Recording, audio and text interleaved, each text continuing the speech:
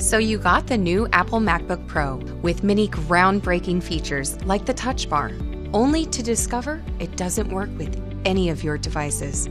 You would practically need a dongle for everything. What if there is a sleek, compact adapter for your MacBook that is able to provide all the ports you need? Introducing Hyperdrive, the adapter that replaces all other dongles.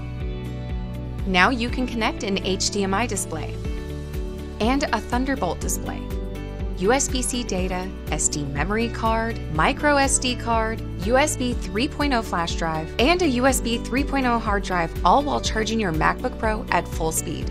Stop figuring out how to store and carry your dongles. With Hyperdrive, just pack and go. Don't look silly with dongles. Just go with Hyperdrive.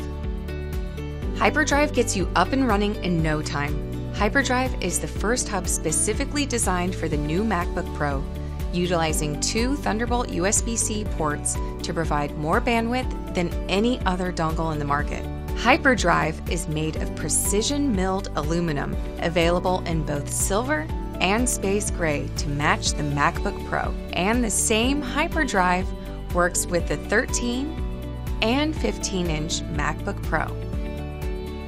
These three plastic dongles cost over $100 from the Apple Store.